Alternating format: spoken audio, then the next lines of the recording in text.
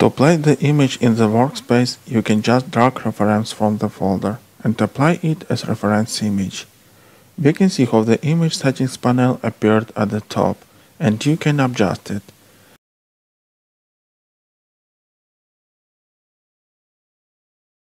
The image will be added relative to the VF. After the settings, you can make sure that the settings panel is minimized.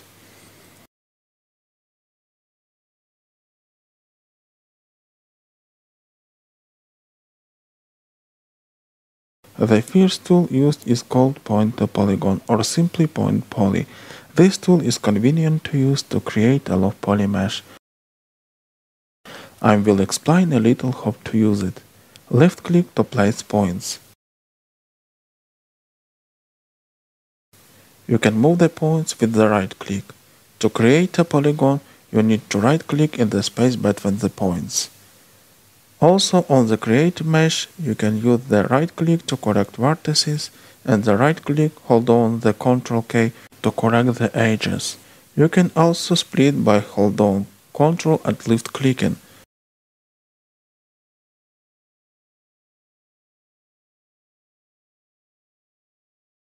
so you can quickly and easily create a low poly mesh without switching to other tools.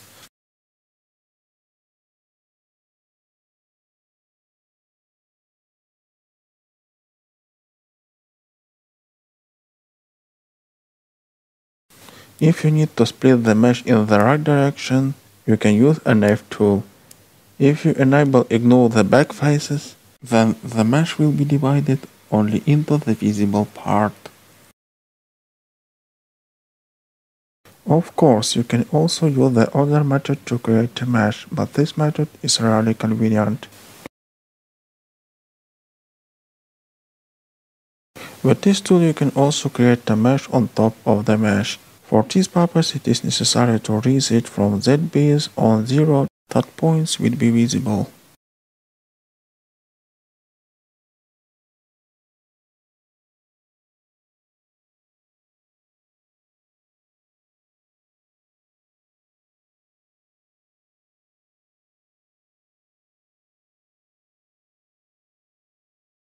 The shell tool is used to create the thickness.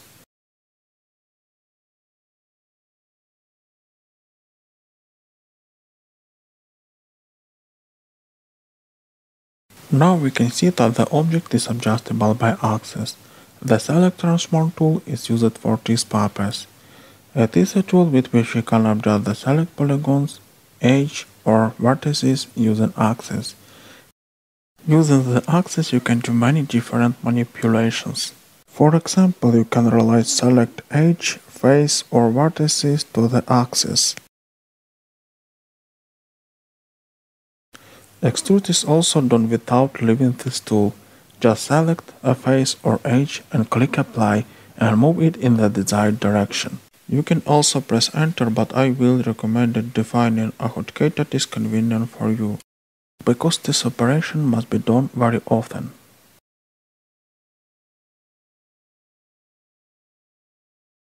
Also you can hold the shift to move only the axis and do various operations relative to this axis.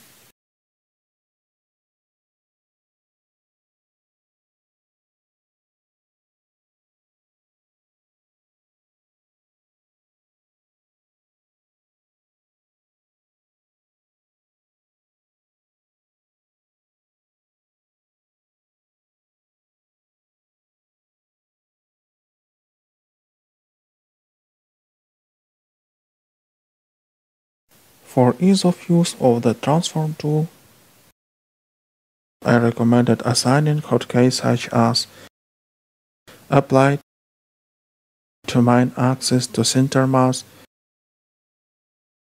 This way you will be able to work very fast.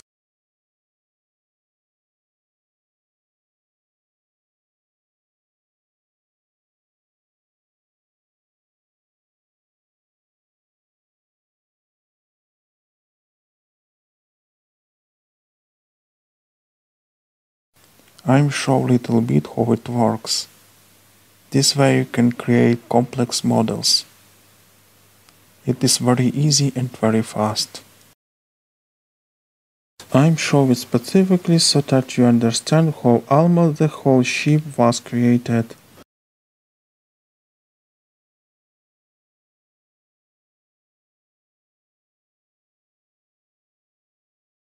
You can also move the selected edges along the band. For this purpose it is necessary to close Gizmo.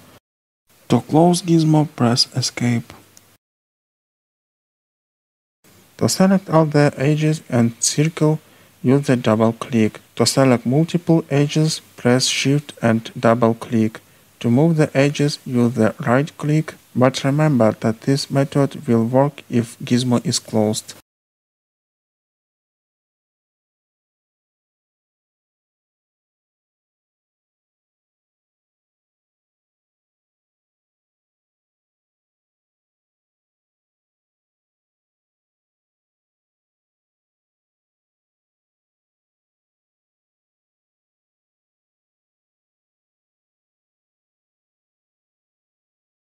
The Point to Poly tool and the Select Transform tool are the main tool I use almost all the time, so I made it easy to access through the Quick Access panel.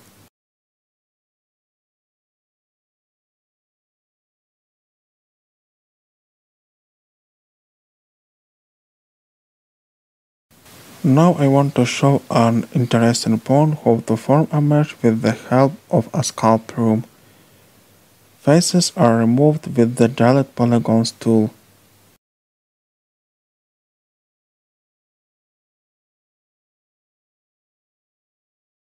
Enable the Show Poly object in the Sculpt room. Now a Sculpt room is used to create the form.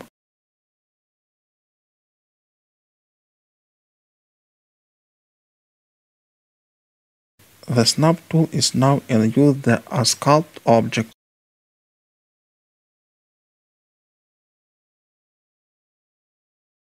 So you can form a mesh of any complexity.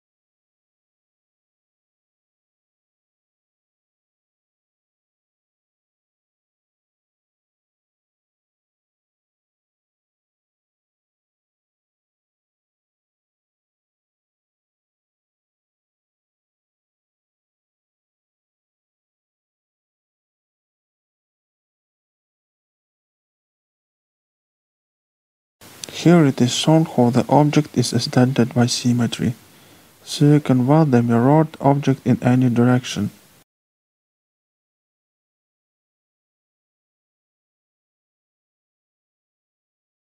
Using symmetry you can do many different tricks.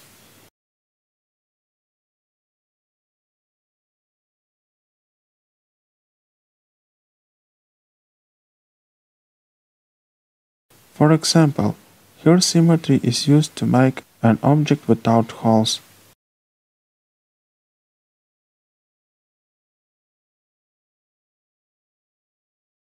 The symmetry panel is in the symmetry tab, but it is better call the symmetry panel with hotkeys. By default it is the SK.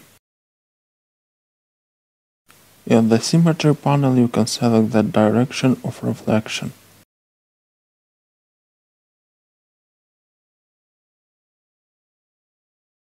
On the top panel there is button to flip the mirror.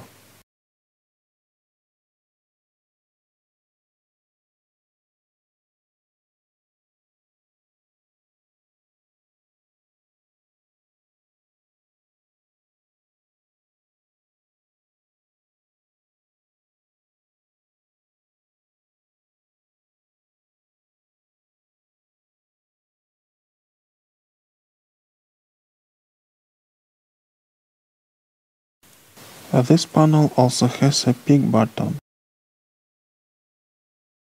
With this button you can set the center relative to which the symmetry will be reflected. Just select this button and tap the part of the screen where you want the center to be.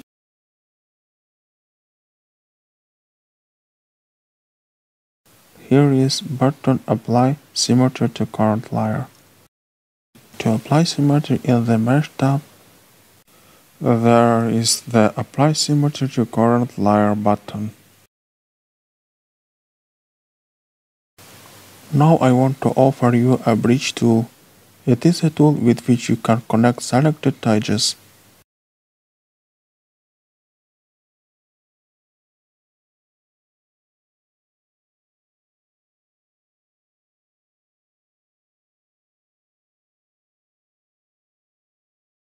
Because I've used it very little, I'm not going to talk about this tool a lot, just show the moments where it is used.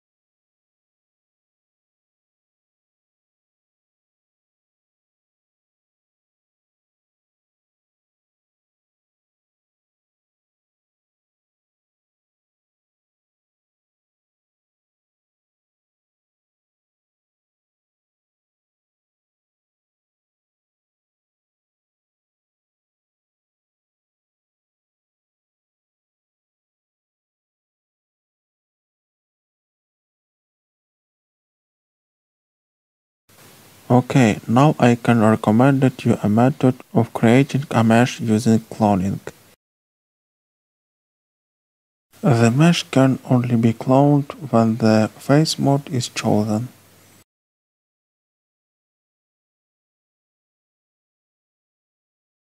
Choose Select all face of this layer and use the shell tool to create the thickness.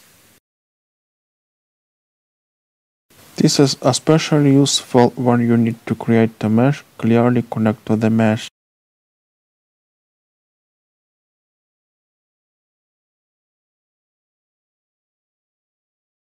I often use this trick and maybe that's why I rarely use primitives. Okay, now let's see where it is used in the ship.